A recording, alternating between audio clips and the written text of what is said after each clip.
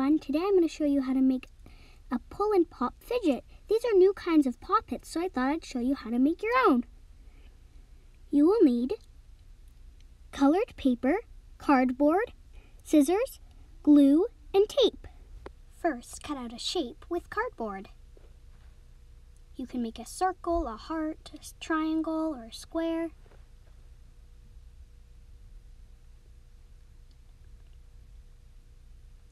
Then you're going to want to cut out two of those. Then cut out circles in the middle of both of them, like this.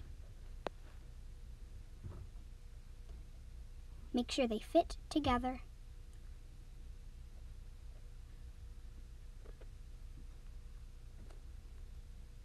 Okay, so now we're going to focus on the dimple part. First you're going to want to cut out a circle and tape the whole thing back and front. Then cut a slit into the middle.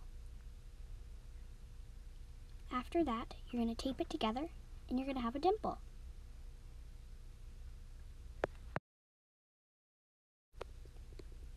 Then you're going to want to cut out a rectangle out of some paper and fold it into a little roll. Then tape it together. Then glue the roll onto the dimple like this. Then when you pop it in, you can pull it and pop it out. Then you're going to want to cover both of the cardboard pieces with tape so they're shiny. Then glue all of them the pieces together like this. Now you have your own pull and pop it. When you push it in, you can pull it out. Thanks for watching. Bye.